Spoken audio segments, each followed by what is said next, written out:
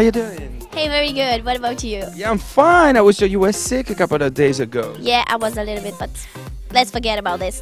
yeah. So what are you preparing tonight on stage at the Virgin Megastore? Tell me. well, a show and some autographs, some pictures, and I know a party. Yeah. What kind of tracks are you performing on stage? well, 10 minutes, amazing. Sun is up, uh, hot, and that's it. yeah. And now you're preparing your second album. I was told it's gonna be very ambitious. What kind of music are you preparing? Is it gonna be very close to the previous album? Are you preparing something new? It's something new, I think. It's something very, I mean, if I can say, very dance. and something new. I like it. Yeah, I'm in love with that track. Yes, what's your name? Pamela. Ah, c'est like Pamela Anderson?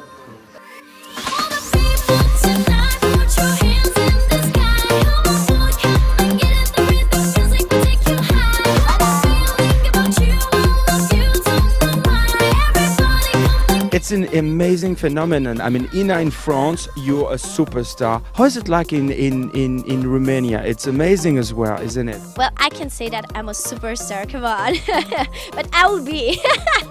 uh, Romania is very cool. I, I I left Romania one month ago, and I'm I, I miss Romania. Uh, but Paris uh, seems that Paris likes me so much.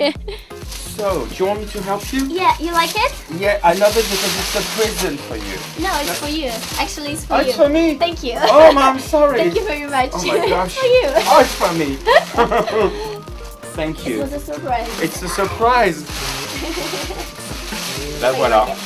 Donc c'est un disque de platine. The platine. Dis donc, euh, 100,000. Oh là là. Ooh, we did it. Elle est successful, hein. Come on. Thank you, thank you live here. I'm doing my tour because I have a tour, and do shopping on that street on, uh, on what? Uh, Etienne Marcel. Yeah, that it's really cool. Very, Next time I bring you to Place des Victoires. Okay? That's cool. Okay. Have a nice time.